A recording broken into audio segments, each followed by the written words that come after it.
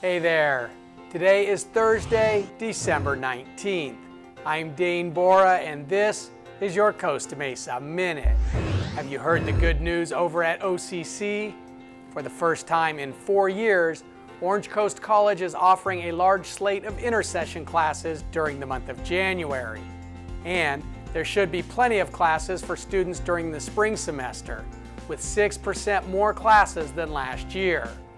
The campus will be closed for winter break through January 1st, but the offices will reopen on Thursday, January 2nd, just in time for the winter session. Tonight at Snoopy House, Paularino School Panther Band takes the stage at 6 p.m., followed by Soul Throat at 8 p.m. Selling treats to raise funds for their programs will be Estancia High School football and Pop Warner football. And speaking of Estancia, the folks at the Estancia TeWinkle Schools Foundation want you to save the date of March 22nd, 2014 for the Foundation's annual gala. This year's event is themed Blues on the Bayou and will be held at the Costa Mesa Hilton. The event will feature blues dance band Blue Daddy and the Estancia Distinguished Alumni Awards.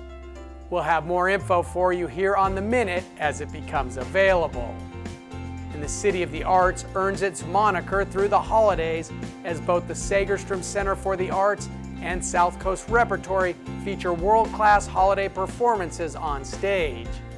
The 34th annual production of the holiday classic A Christmas Carol runs through the day after Christmas, and Evita and LeAnn Rimes headline over at the Segerstrom. And that's Costa Mesa Today in a Minute or Two.